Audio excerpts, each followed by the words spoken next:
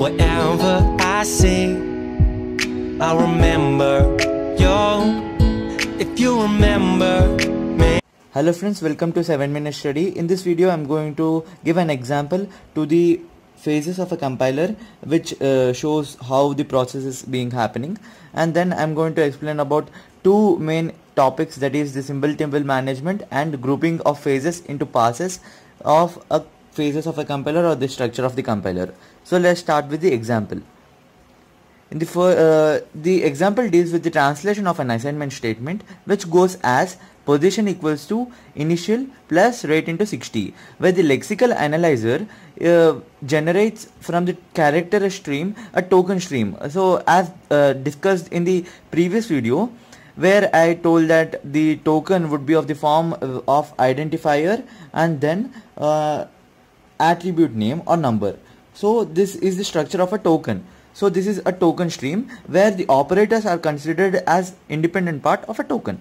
Okay, uh, that's the smallest part we can ever manage. And identifiers along with their attribute names are known as a single token. Okay, uh, Lexeme is nothing but an initial uh, like Lexeme is nothing but what it's a instance of a token okay? Lexeme table will be uh, discussed as literal table in the previous uh, in the above uh, in the above part uh, in the next part of the video. Uh, so the token stream is next gen then passed as an input to the syntax analyzer which generates the syntax tree where the nodes are the operators nodes are the operators and the leaves leaf nodes are the operands.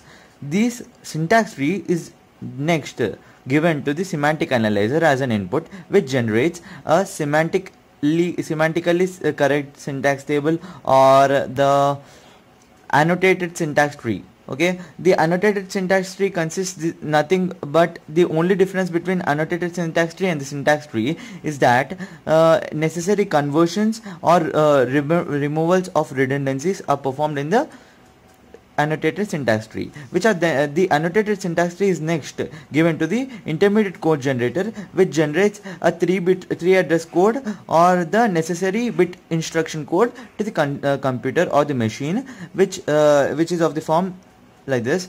And then this 3 address code is optimized using uh, the uh, machine independent code optimization where we don't need to have any knowledge about uh, like different machines. Uh, in all other machine in any machine the above processes will be the same and here it might differ. Uh, sorry till here the processes would be the same. In the code generator where machine independent or machine dependent code optimization would be coming into picture. Where uh, depending on the machine we might be uh, we might be performing some memory allocation require or storage managements required which produces differences in the in the target machine code generated. The target machine code uh, in an uh, in most of the computers would be looking like this but based upon the register size or the identifiers which can be allocated to the registers it might differ. Uh, so this is this this is the symbol table we are going to use where uh, these are nothing but the identifiers and these are nothing but the attribute numbers or attribute values so let's go with the symbol table and literal table or uh, the symbol table management okay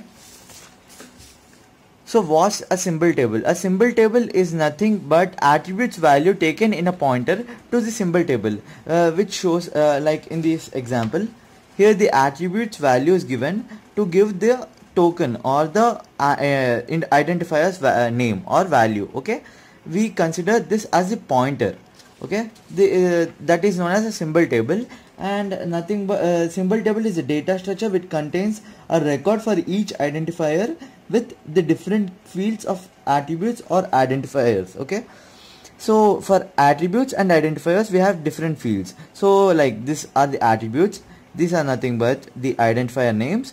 Uh, so you can see like what are the details of the attributes and memory locations allocated for them. So based upon the memory sizes or differences in the sizes of a memory in a machine the machine dependent code optimization might come into picture. So we have literal table where literal constants and strings might have varying memory locations and this also performs the same task as the symbol table but here only literals are stored where we have symbols that is uh, position initial and rate in uh, from the this character stream stored into symbol table. But we have this 60 left right? 60 acts as a literal or constant which has to be stored in some memory location which can be accessed by pointing to it using the address.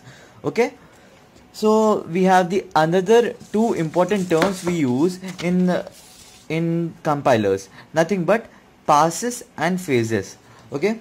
In passes and phases of a compiler phase is nothing uh, but an interrelated stage which takes a previous uh, which takes input from the previous stage and gives output to the next stage. Like we have different phases of lexical analyzer which takes input of character stream or the source program to generate the token stream as the output. It's a single phase right? Another example might be syntax analyzer which takes token stream as the input and generates the syntax tree as the output or a semantic analyzer which takes the syntax tree as an input and generates the annotated syntax tree as an output. So a phase is nothing but an interrelated stage which takes the input from the previous stage to give output to the next stage of a compiler. Okay, a pass is nothing but an entire scan, scan of a program. Alright pass is nothing but like uh, most of the cases we might have three passes uh, in the like machine uh, or target machine code generation where the first pass pass might consist of phases such as lexical analyzer uh, lexical analyzer syntactical analyzer and semantical analyzer.